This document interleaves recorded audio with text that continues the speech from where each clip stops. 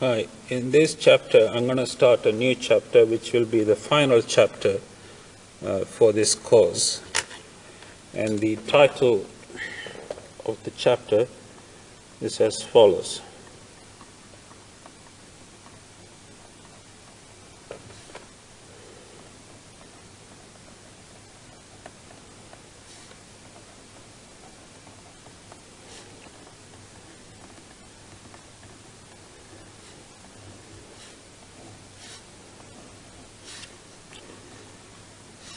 So you may, you may recall that the first chapter that we looked at in this course was the univariate extremes, which is where I introduced the three definitions of extreme values.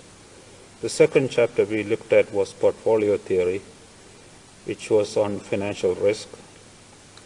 The third chapter we looked at was financial risk measures, which is again on financial risk part of the course.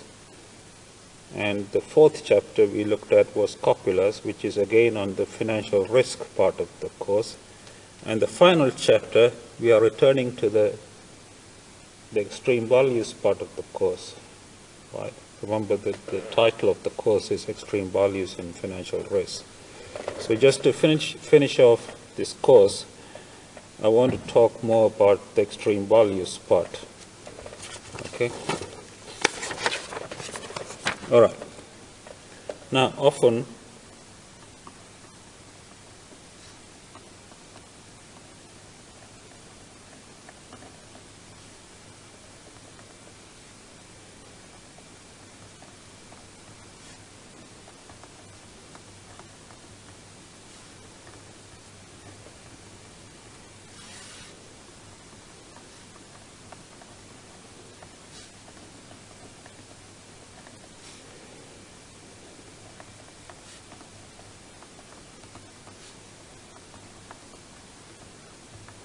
Okay.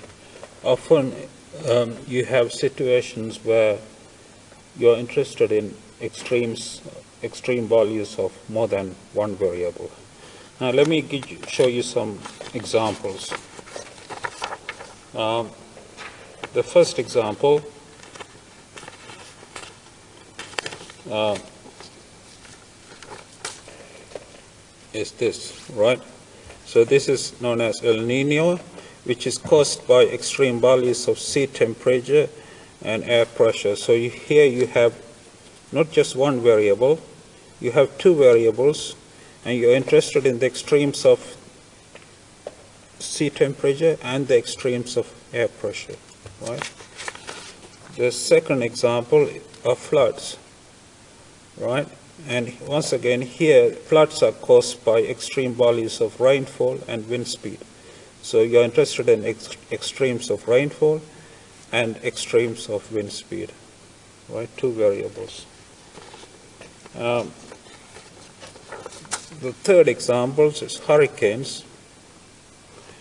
Hurricanes are caused by extreme values of sea temperature, rainfall, and wind speed. So you're interested in extremes of three variables, extremes of sea temperature, extremes of rainfall, and extremes of wind speed. Right? And the next example is droughts.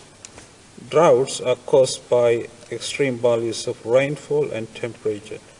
So here you are interested in extreme values of rainfall and extreme values of temperature. And the next example is forest fires. Forest fires are caused by extreme values of temperature and wind speed. So once again, here you're interested in extreme values of temperature and extreme values of wind speed. And the final example are tornadoes, right? Tornadoes are caused by extreme values of humidity and wind speed. So here you're interested in extreme values of humidity and extreme values of wind speed, right?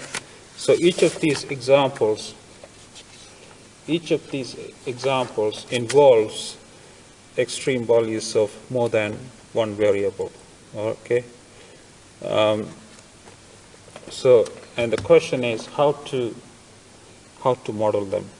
All right, so that's, uh, before we can actually model, before we can start talking about modeling uh, bivariate or trivariate extreme values, we need to find a way to define bivariate extreme values or trivariate extreme values. How do you define? Like in univariate case, in the univariate case, I gave you three definitions. You may recall them.